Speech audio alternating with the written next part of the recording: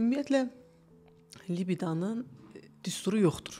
Çox dərin, çox geniş bir termindir. Bu stereotip stereotipləri aşmaq üçün biz tək qadınla deyil, təbii ki, onun partnyorunla da. Partnyor deyəndə istər həyat yoldaşı olsun, istər sevgili olsun, istər e, münasibətdə olduğu. münasibətdə olduğu kimsə olsun, bu bunu aşmalıdır və burada gəlir nəyə dayanır?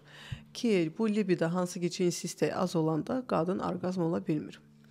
İndi biz bunun orqanik tərəflərinə baxsaq, bunu belə aça bilərik ki, tutaq ki, ə, xanım əsəbidir, gərgindir və yaxud da iş rejimindən bağlı bağlı olaraq gedir antidepressant yazdırır. Adi bir yüngülpü mənə ə, gedir həkimə, nevropatoloqa tutaq ki, ya da psixoloqa ya da psixiatra belə deyək ki, mənə bir dənə antidepressant yazın. Antidepressant gətirir özü libidanın əskikliyinə gətirib, cinsi istəyin azalmasına gətirib çıxardır. Tutaq ki, keçək indi özümüzün ginekoloji baxımdan öz ə, profilimizə.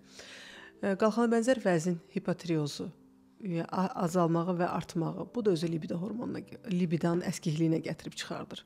Adi hamilə qalmayan, polikistozda olan pasientlərimiz olur ki, biz onlara o qədər kontraseptiv vasitələr yazırıq ki, bunlar hamısı araşdıranda gətirir bu orqanik dediyimiz yönlərdir ki, bunlar gətirir onun cinsi istəyi, istəyi azaltmağa gətirib çıxardır. Amma biz bunların öhdəsindən daha rahat gələ bilirik. Çünki bunlara e, dərmanlarla, e, oral qəbul olunan dərmanlarla, yəni bunları bərpa etmək olur. Hormonları bərpa eləyirik, tarazlayırıq. Tutaq ki, polikistozdan polikistozu varsa, hamilə qalmaqdan əziyyət çəkirsə, biz bunu düzənləyə bilirik. Amma yenə də ən əsas, ən qlobal problem nədir? Burada dayanan libido cinsi cinsi istəyin yenə yenə gəlir mental psixoloji səbəblərə çıxır. Hmm.